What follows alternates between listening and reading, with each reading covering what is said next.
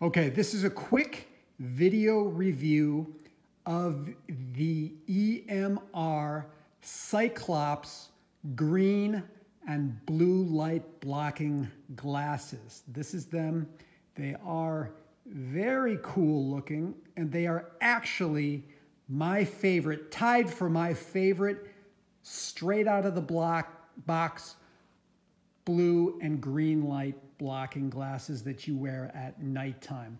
Now, I'm going to model these for you right now. Do not share this video with anyone. So, as you can see, they look pretty cool. Um, they're very compact.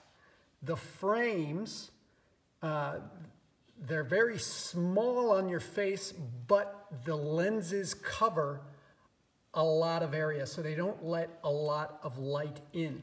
The frames are made of magnesium. Um, they're not aluminum, they're magnesium. Uh, magnesium is a little bit lighter and I think stronger than aluminum, plus magnesium is less conductive. So you EMF people are going to like that.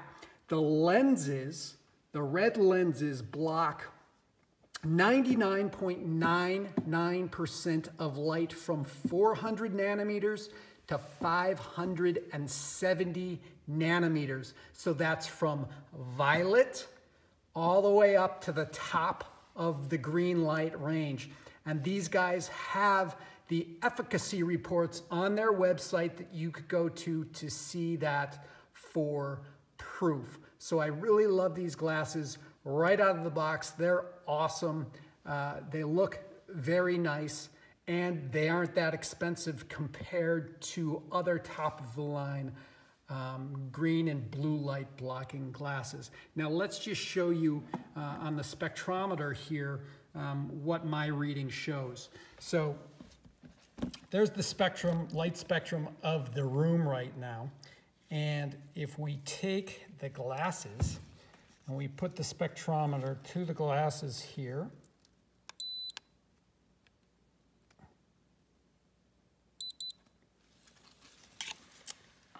this is what they do. So bam, you see that just right around 570, they start to look, let a little bit of light in, and they still block a lot all the way up to 580 and beyond it.